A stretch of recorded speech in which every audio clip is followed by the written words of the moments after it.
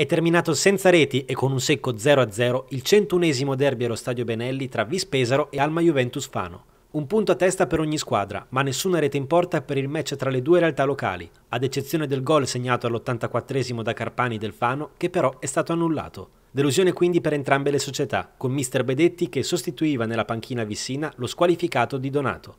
Al termine dell'incontro, un gruppo di tifosi biancorossi ha dato vita ad una contestazione fuori dal Benelli per manifestare contro il risultato portato a casa dalla Vis. Sicuramente questo non è l'atteggiamento cui con cui affrontare un derby.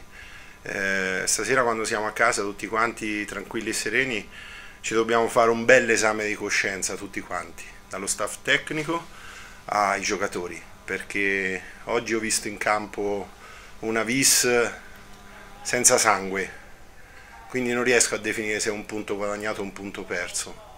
L'unica cosa che mi porta a casa è che da quando siamo arrivati eh, non abbiamo preso gol oggi, però è magra. La partita ha detto che se c'era una squadra che meritava di vincere quella era il Fano. Dispiace, dispiace tanto, purtroppo è un periodo che facciamo delle, delle cose che non esistono purtroppo e ci, ci capitano, dobbiamo lavorare, basta.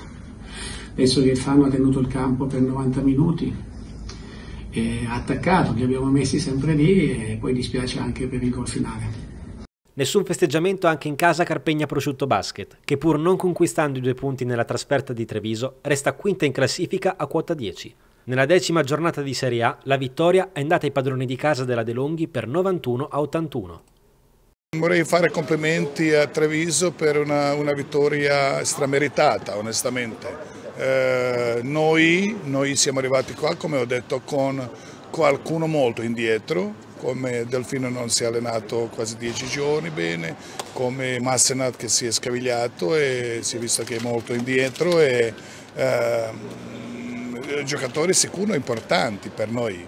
Eh, se succede con Ariel come è successo al primo tempo che ha sbagliato tutte le sue scelte o con eh, Zanetti che ha stato tutte le sue scelte è difficile aspettare vincere. Eh, prima di questa partita siamo stati eh, miglior seconda squadra in nostro campionato dal punto di vista difesa, abbiamo subito 47 punti in primo tempo, eh, più, di metà, più di metà dopo eh, contropiede e ribalzo in attacco.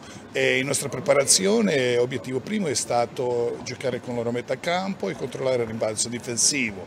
Purtroppo non siamo riusciti, mi dispiace, ma ehm, ho visto, ho visto la squadra eh, distratta, non concentrata rispetto alle ultime partite, può, può essere che tutto ambiente dopo quattro vittorie in fila, dopo anni e anni, si è addormentato, ma è mia colpa.